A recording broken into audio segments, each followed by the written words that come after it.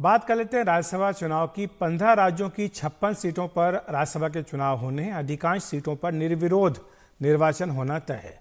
लेकिन दो राज्य ऐसे जहाँ पर की मुकाबला होना तय माना जा रहा है। ये हैं उत्तर प्रदेश और साथ ही कर्नाटक। यहाँ पर बीजेपी ने अपना एक्स्ट्रा उम्मीदवार उतारकर अपने विरोधियों को ललकारा है। इसी तरह हिमाचल प्रदेश में भी बीजेपी ने अपना उम्मीदवार उतारा है। कोशिश ये है कि कांग्रेस के और बाकी जो विपक्षी पार्टियाँ हैं, उनके खेमे में सेंध लगाई जाए। ये देखने की बात होगी कि जब चुनाव होता है तो वाकई बीजेपी को इसमें कामयाबी मिलती है या नहीं? उत्तर प्रदेश में राज्यसभा की लड़ाई सबसे दिलचस्प हो गई है।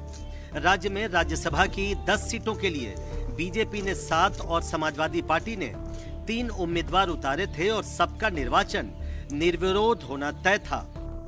लेकिन नामांकन के आखिरी दिन, यानी 15 फरवरी को, बीजेपी ने संजय सेठ के रूप में अपना आठवां उम्मीदवार उतार कर पेच फंसा दिया।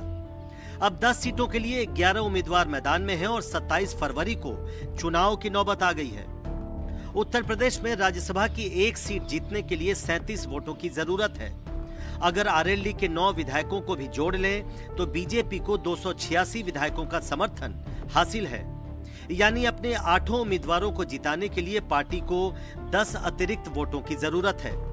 इसी तरह समाजवादी पार्टी को अपने तीनों उम्मीदवारों को जिताने के लिए 111 वोटों की ज़रूरत है, जबकि उसके पास कांग्रेस को मिलाकर 110 विधायकों का ही समर्थन हासिल है। इसका मतलब समाजवादी पार्टी को एक और वोट की दरकार है। ऐसे में दोनों गुटों की नज़र उन तीन विधायकों पर है जो फ़िलहाल किसी गुट से नहीं जुड़े हैं। इनमें राजा भैया समेत उनकी पार्टी के दो और बीएसपी के एक विधायक शामिल हैं। राजा भैया लगातार योगी आदित्यनाथ के समर्थन की बात करते रहे हैं तो वहीं बीएसपी समाजवादी पार्टी के खिलाफ है। ऐसे में अगर समाजवादी पार्टी अपने लिए एक अतिरिक्त वोट नहीं जुटा पाती है तो फिर निर्वाचन के लिए द्वितीय वरीयता वोटों की ज़रूरत पड़ेगी।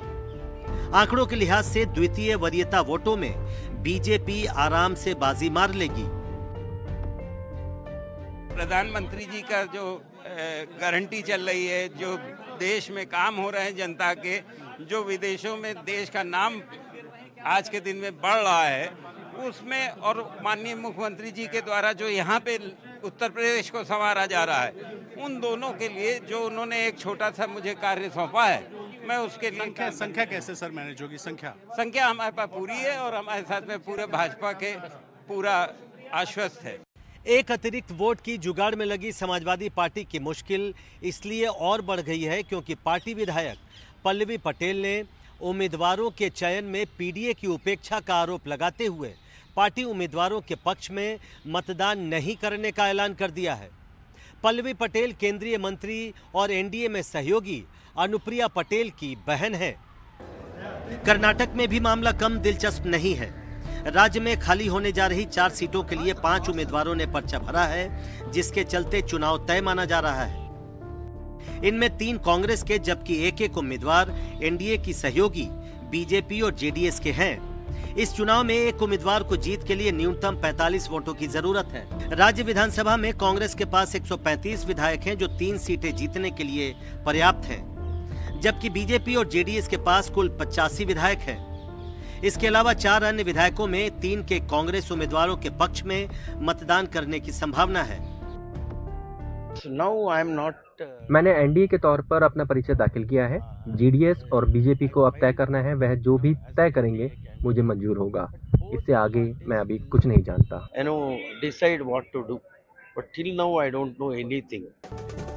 पिछले कुछ सालों में बीजेपी ने लोकसभा की तरह ही राज्यसभा में भी अपने संख्या बल को बढ़ाने की जोरदार कोशिश की है। इससे राज्यसभा में बीजेपी के सदस्यों की संख्या तिरानवे तक पहुँच गई है।